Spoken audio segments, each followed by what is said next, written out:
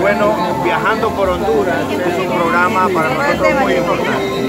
Eh, es una iniciativa de jóvenes, de adultos, de gente del sector turismo que han encontrado en el país bellezas que tal vez otras generaciones no las han Y ellos decían, ¿por qué no salir a conocer Honduras, a viajar por Honduras? Ahora que estamos entregando carreteras terminadas, es importante que el pueblo hondureño haga como el pueblo lanchano Miren, yo estoy impresionado de la cantidad de gente de Olancho que ha ido a visitar Trujillo, por ejemplo. Me decían los de Trujillo, la ventaja de los lanchanos es que andan con muchas tarjetas de crédito y las llegan a gastar y se van a quedar.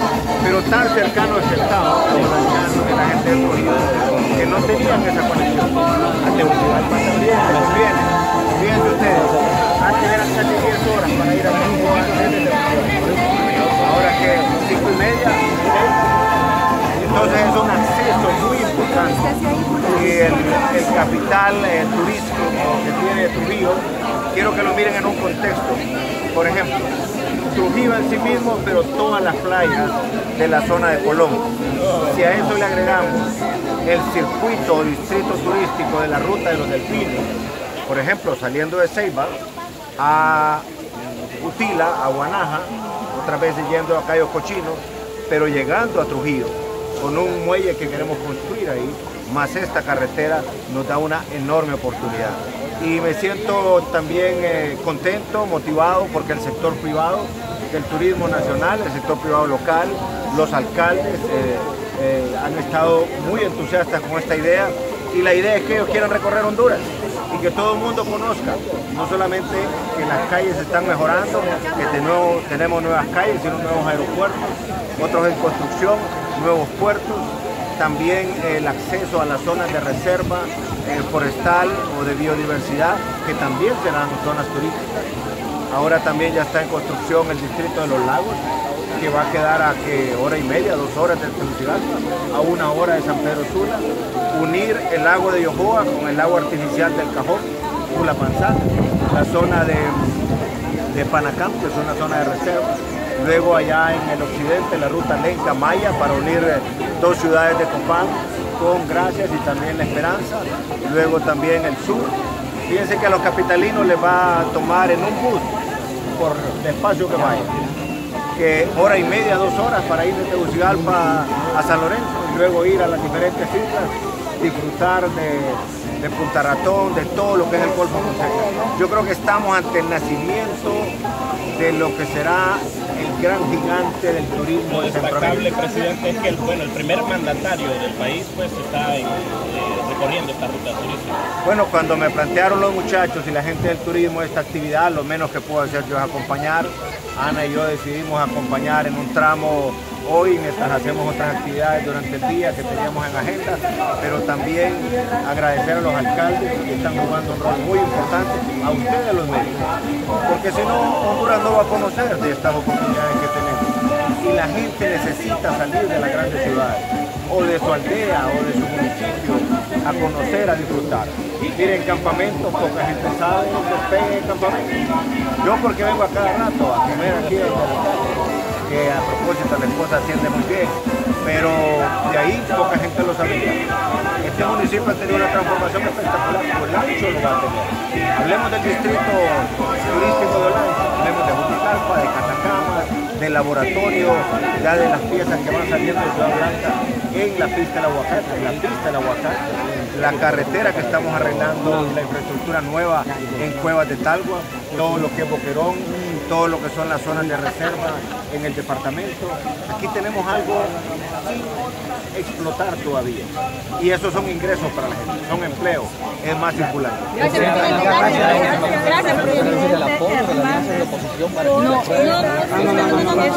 Gracias, presidente.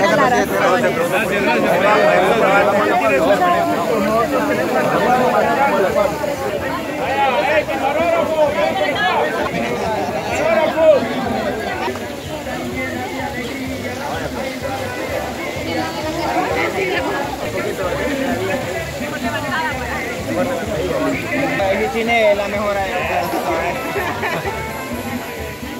Vamos. ¿Y el campamento? ¿Y el campamento? ¿El campamento ¿Y dónde campamento dónde está? ¡Viva campamento! Muy bien.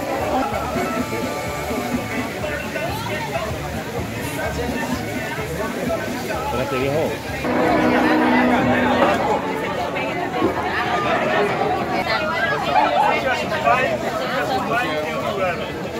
¿Qué van a ofrecer aquí? Bueno, cafecitos tenemos americanos, el expreso, pero relevante, ¿verdad? Ah, es el Dime otro. uno así, ¿sabes? Tenemos latte y capuchino. Americano, ¿sabes? Café es cultivado 100% Tostado, catado. ¿Aquí ¿Tienen alguna, ¿tienen alguna tienda aquí? Alguien lo trae y tiene que tener algo. Está en la gasolinera América, también hay otro café, ellos lo producen. Francamente, ¿cómo funciona esta-? Aquí hay para un, bueno, esto, aquí se sacan las esencias. El expreso es eh, la esencia para sacar americano, para sacar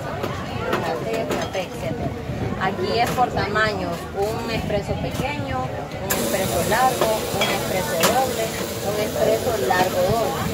Entonces, de acuerdo como lo pide el cliente, digamos a mi alcalde, yo le tengo que dar un expreso largo y doble. Mire, el otro día me dieron del café de él. Lo dormí toda la noche. Dale, hacerle café a él. Entonces al alcalde le tenemos que hacer para una que prepararle con dos expresos café. Sí, qué sencillo, realmente. Ah, sí.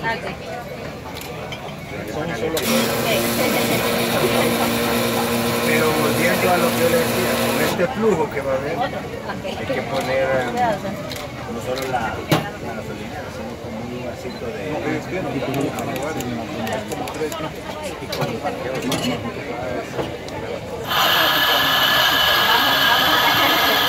Estamos en, la, en el bulevar que, que no son tan accesibles también. Pero yo me refiero en la, en la, tiene que haber una bahía grande para buses, para carros, y ya va a haber la cantidad de gente. Presidente, nosotros queremos hacer como un, un centro de, de conveniencia. Sí, entonces, eh, al entrar, por ejemplo, de conveniencia, ya tenemos el lugar, el parqueo, hacer, y que haya una diversidad, ¿me entiendes?, de porque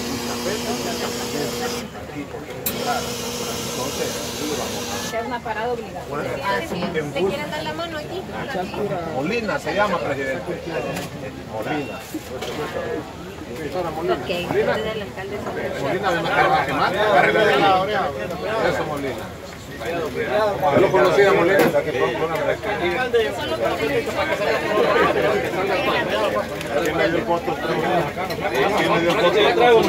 Vaya Molina.